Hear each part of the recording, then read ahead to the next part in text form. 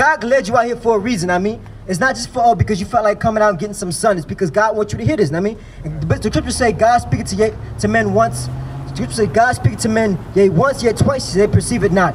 We're trying to make you understand this so you can receive the kingdom. I'll read this. The book of Sirach, chapter 5, verse 7. Make no tarrying to turn to the Lord. So Charles, the Bible says, do not procrastinate to turn to God because you're older gentleman. Uh, older gentleman.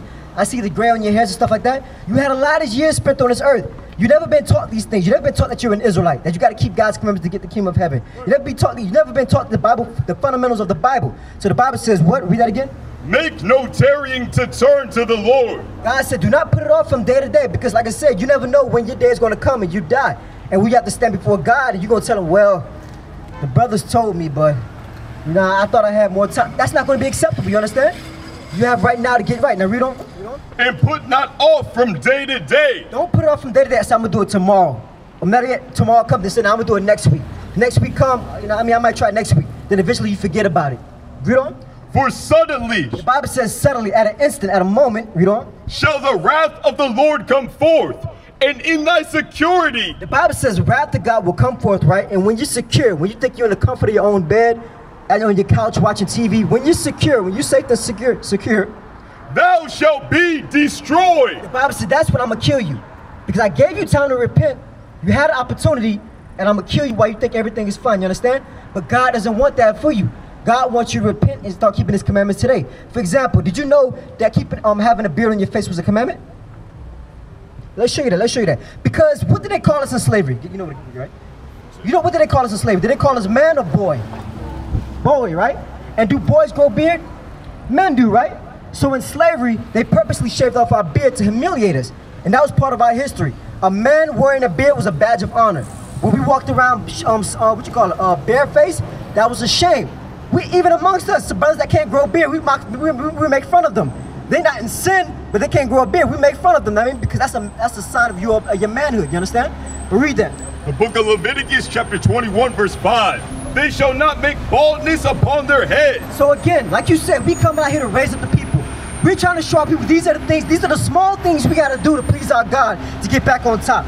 And when I mean back on top, I'm not talking about flying in the sky with angels in an imaginary golden city. I'm talking about just as we can touch the ground day right now, how we can say this street is named after whoever, we're going to have cities and streets named after us. You know what I mean? We're to have cities and streets named after us. Pay attention, don't get distracted, all right? Read that. Neither shall they shave off the corner of their beard. So God said it is important for a man to have his beard, not to shave it off. These are important things you must learn to receive the kingdom of heaven. Because if you don't, like I said, God will kill you over something as simple as not having a beard. Right. How we, we call it petty. God is that petty. He will do that because he said, these are my laws. Y'all are my chosen people. This is how I want you to live. Not do your own thing, but this is how I want you to live. Like you have, you have children, right? They can't act any type of way inside your house. If they do, you put them out, right? When they become of age, right? Same thing our God did with us. We became of age and he put us into slavery. You understand? So he wanted his men to grow beards, you know? Nor make any cuttings in their flesh. Cuttings in your flesh is talking about tattoos. A lot of your brothers out here, we some of us had them. The only thing different now is we don't get any more. You understand? But before we didn't know that, so we got them. But now we understand. Don't get any more tattoos. But what, what in America they promote that? That's like a culture today amongst blacks and Hispanics. Get tatted up from your neck down. You understand? But not knowing that's sin according to the Bible, and things like that will keep us from receiving the kingdom of heaven. And we're going to touch on what the kingdom of heaven is, because again, I don't want you to walk away thinking that okay, it's a fairy tale, it's a feel-good thing. No, kingdom of heaven is you, Charles, ruling over ten cities. Do you know what it's like to rule over ten cities? I don't.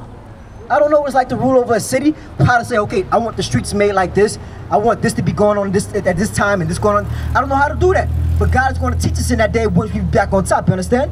And when you rule over those ten cities, you're going to be famous in those cities. You're going to be royalty in those cities. You understand? That's what we're trying to bring our people back to. Cause give me, uh, give me Zechariah 13 verse 8. Cause it's a reason why you're listening to this. Cause this microphone is loud enough for everybody to hear. And everybody can come and listen at once, but yet they're not doing so. And the Bible's going to explain why they're not, but you are. Read that. The book of Zechariah, chapter 13, verse 8. And it shall come to pass that in all the land, saith the Lord, two parts therein shall be cut off and die. So let me ask you, what does that mean when it says, and all throughout the land, two thirds shall be cut off and die? Let me see if you understand that. If you're not, that's fine, but let me see. So when it says two thirds should be cut off and die, right? Let's say you have this board, right? This board represents the blacks and Hispanics. Let's say you separate it into three pieces. Two pieces are going to be destroyed while one piece is saved. You understand? That's how God. That's God describing to us, saying only a few of us will hear to take the time to hear this word and actually do something and change. Do you want to change? I've already changed. I'm a Christian. No, no, no, no, no. Christian, like you said. I mean, you know what I'm saying? I'm a, I'm a godly man. You know Understood, understood. I don't do drugs. I don't drink. I don't, I don't, you know, I, I, my father was a pastor. You Understood. know what I'm saying? I'm junior. But what I'm trying to show you, give me John chapter 3, verse 3 real quick. I'm gonna show you. I'm gonna show you why I gave that reaction. You understand? When you said you was a Christian, I gave a certain reaction. You could tell. You saw. You, you, you saw. You saw what happened. I'm gonna show you why. Because this is what Christ said. John chapter 3. Book of John, chapter 3, verse 3. Jesus answered and said unto him, This was a man Christ was speaking to one on one, right? Like I'm speaking to you one on one. Verily, verily, I say unto thee, Surely, surely, I'm saying unto you, except a man be born again. Born again. Let me ask you, what does it mean, Charles, to be born again? You got, to, you know what I'm saying? You got to change your ways, man. You know what I'm saying? In order to, to be what God has intended for us to be, you have to, number one, keep His commandments. You got to know what the commandments are. You know what I'm saying? And then you got to live it Right. daily. Not every now and then, but daily. Right. You know what I'm saying? But then, you know, you have to stay in the Word. You have to read that Word. You have to put, make that Word a part of your everyday life. Correct. And the what? And like I said, I, I'm, gonna, I'm gonna take a side note. The reason why I ask you these questions is not to challenge you. Don't feel them like that. It's just to see where you're at in your understanding, and if I can help you increase. You understand? So you're correct. The worst, most important, the most important word you said was change. It's going to say that next. That's what it means to be born again. Right. Read it.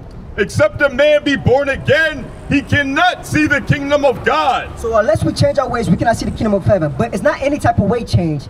It's change to a specific thing. You know? Nicodemus saith unto him, How can a man be born when he is old? Can he enter the second time into his mother's womb? So exactly. So it means change your way. So let's see if you want to change real quick. Just one small thing. First Corinthians chapter 11, verse 3. Because you see, we don't worship this. The same man that enslaves us, the same man that shoot us down and says they're, they're not guilty for it. We don't worship that. We worship a black Messiah. Black Messiah, a black God, a black king. That's what we honor. You understand? And God has a certain rules for us when we discussing when, we, when we're discussing His word. That's what He says.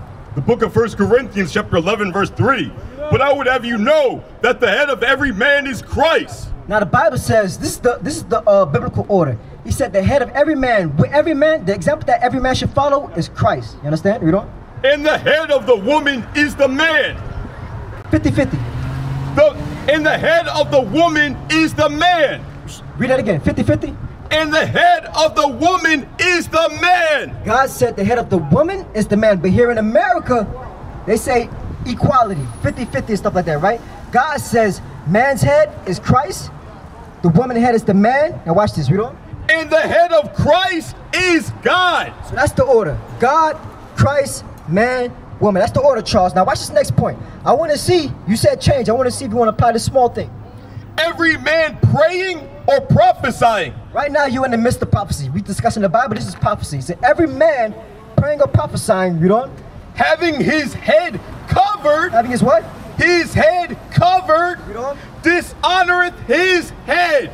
Let me see if you, who who is who is the example that man's supposed to follow. We just read it. Say God. Say God. Okay, remember it was God, Christ. How you doing, brother? What's your name, sir? DJ. Hey, Charles. This is DJ. We're one nation of people. We're not. We're not supposed to act like strangers amongst each other, all right? Ch- DJ. This is Charles. We're one nation of people. We're trying to rebuild our people because right now we're at the bottom of society, and there's a reason why for right? Well, I want to ask, ask Charles a question, but I'm gonna ask you the same question to see if you catch on. Read this. real quick. Every every man verse 3 but i would have you know that the head of every man is christ Now it says the head of every man is Christ, right? That's the example that we're supposed to follow. Remember that, Charles. The head of every man is Christ. You know? And the head of the woman is the man Now let me ask you, brother. What the Bible just say? Is the, is the woman is supposed to be 50-50 or the man supposed to lead the woman? We the head, right? But is that is that so in America? No. Now, it says women equal rights and all that stuff like that. No, the Bible says the man is the head of the woman, right? You know? and the head of christ is god So that's the order. I want y'all to pay attention because it's a question I'm gonna ask y'all next. I'm gonna say it again. The head of Christ is God. The head of man is Christ, and the head of the woman is the uh, man. So again, it's God, Christ, man, woman. Now let's see what the order is concerning the man. Read on.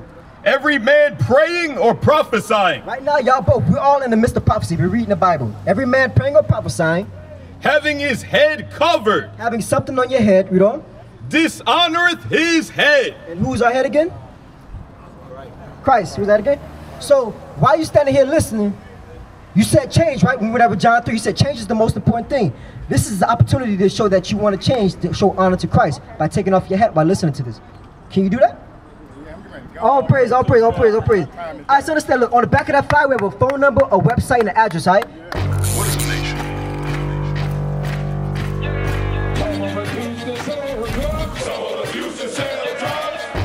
Nation is men leading by example.